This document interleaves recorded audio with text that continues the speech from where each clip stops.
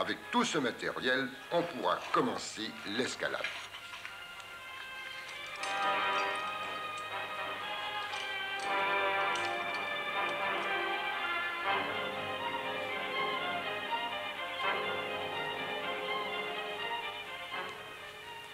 En général, nous nous encordons à la double corde.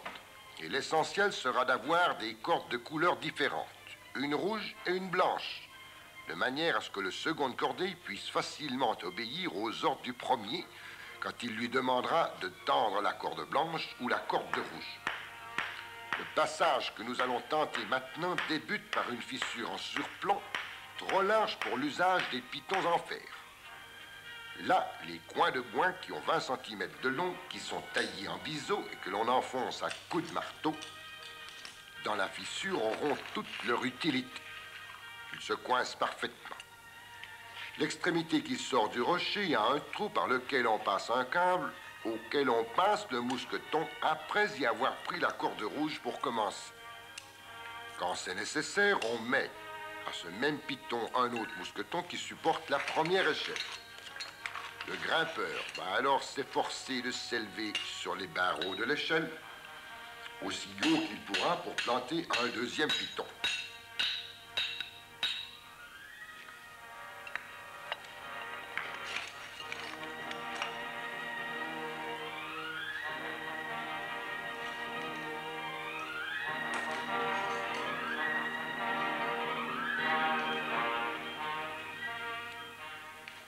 Après avoir contourné le premier surplomb, un nombre plus grand de fissures se présentent. Mais elles sont plus petites. Et nous pourrons là placer des pitons en métal plus minces. Mais la technique est la même que pour les coins de bois. On tâche toujours de grimper sur le dernier échelon, donc le plus haut possible sur l'échelle, et de planter le piton à bout de bois pour éviter d'avoir à en mettre trop, et aussi pour gagner du temps. Dans l'artificiel, on distingue en général 3 degrés, l'artificiel A1, A2 et A3. Au degré A1, les pitons sont en général faciles à planter et à récupérer. Au degré A2, c'est plus difficile. C'est un peu la démonstration que vous avez devant les yeux. Mais au degré A3, ce sont des passages en surplomb avec des pitons plantés souvent par-dessous.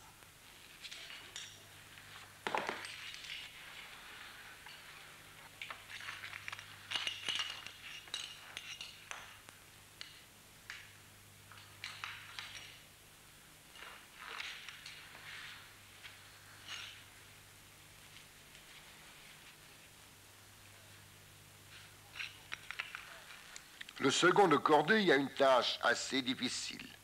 Il doit continuellement surveiller la progression du premier et exécuter ses ordres, quand il lui demande de tendre la corde blanche ou de la bloquer. Ainsi, le premier a les mains libres et peut planter le piton supérieur, qui recevra la corde rouge. Une fois le travail terminé, il demande à nouveau de tracter la rouge en libérant la blanche. Et ainsi de suite. Le second de cordée aide assure continuellement le premier. Il aura encore la tâche ingrate de monter derrière. Bien entendu, assuré par le premier, mais il devra en route récupérer les mousquetons et également parfois les échelles et pitons. Travail très pénible quand on est en haut de l'échelle. De même, quand on a le pied sur un piton qui supporte une échelle et que par chance on a trouvé une petite prise, il faut alors se baisser jusqu'au pied pour